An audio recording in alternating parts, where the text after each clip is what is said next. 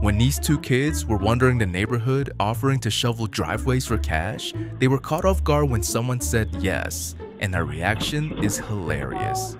Hi, do you want us to shovel your driveway for 20 bucks? Um, yeah.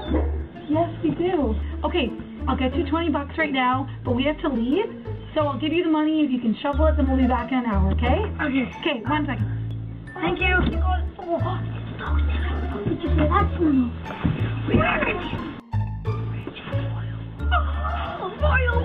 awesome? No, no wonder he's rolling. Oh, people rich. They'll pay us like, I'm not shovel. I want some money again. I don't want to shovel. I'm, I'm rich.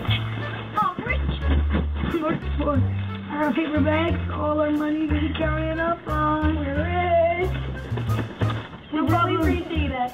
Thank you. Thank you. Oh, dude, thank you. You know, it's doing a really good job because it's taking